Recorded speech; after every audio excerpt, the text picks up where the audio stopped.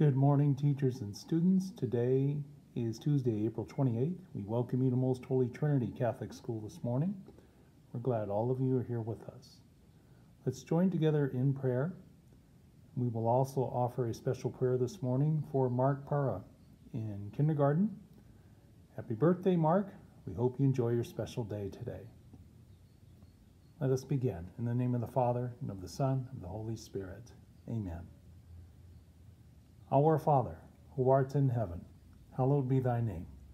Thy kingdom come, thy will be done, on earth as it is in heaven. Give us this day our daily bread, and forgive us our trespasses, as we forgive those who trespass against us. And lead us not into temptation, but deliver us from evil. Amen.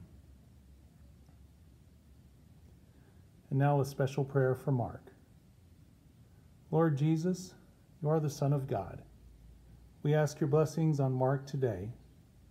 We ask that you continue to give him growth physically, mentally, emotionally, and spiritually, so that he can one day be the person God meant him to be.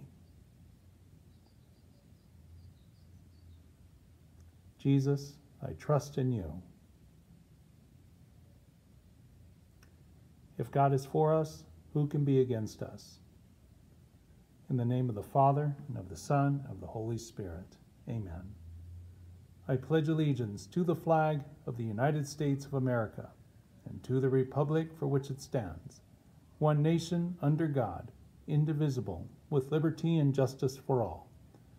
Honor the Texas flag.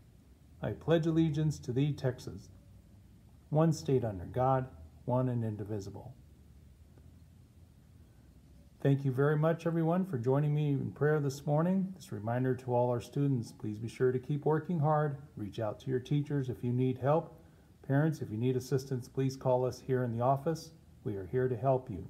We want to see everyone do their very best. This concludes our announcements for today. Let's everyone have a blessed day.